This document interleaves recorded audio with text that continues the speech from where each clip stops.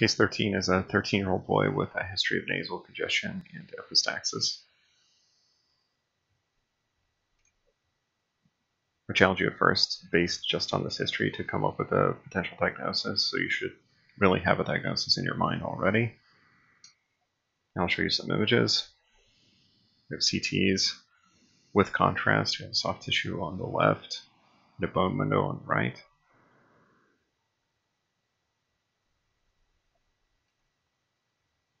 Here we have a contrast enhanced CT from just a little bit lower.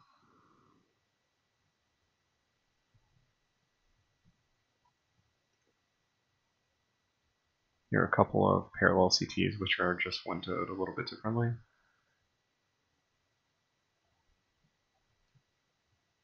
Finally, we have a sagittal image from a CT.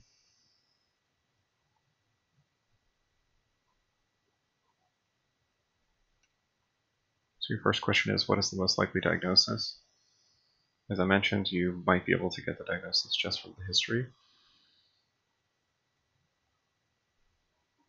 Second, what is the point of origin of this mass? So where does this mass arise? Does it arise from the middle turbinate, the sphenopalatine foramen, the pterygopalatine fossa, or the nasopharynx?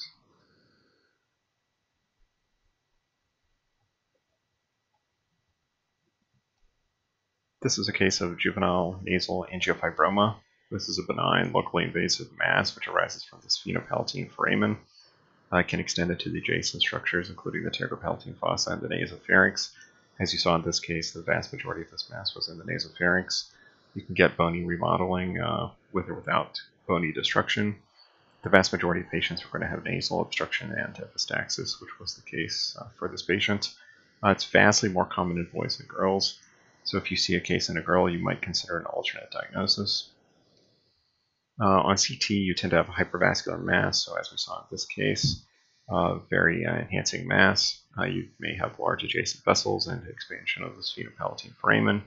On MR, you're going to see similar findings. You'll see intense enhancement with flow voids. Uh, if you happen to have an angiogram, you may see a vascular blush with large vessels uh, from the internal carotid artery, I mean, external carotid artery supplying that area. And the treatment for these cases is first embolization to make resection easier and minimize the risk of bleeding, followed by resection.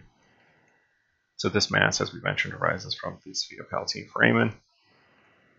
Uh, in this case, uh, these images are showing that this sphenopalatine foramen, so this structure right here, you can see on the right is normal in size, but on the left is expanded a little bit, so the AP diameter is larger, and that's where this mass is arising from.